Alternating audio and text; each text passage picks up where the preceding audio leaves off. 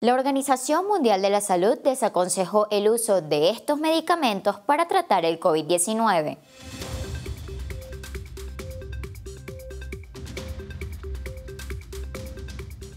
Se trata del antidepresivo fluvoxamina y el medicamento usado para prevenir ataques de gota colchicina, que durante el tiempo de pandemia han sido recetados a pacientes con COVID leve o moderado.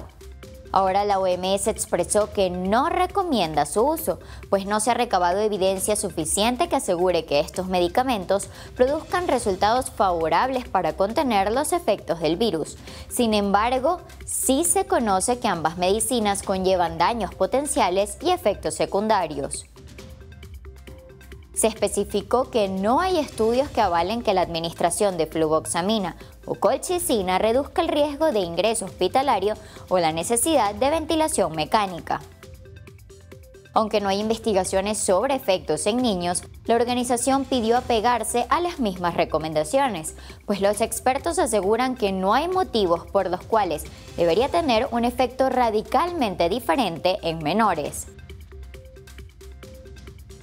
Otros medicamentos que la OMS ha desestimado para el COVID-19 son la ivermectina y la hidroxicloroquina.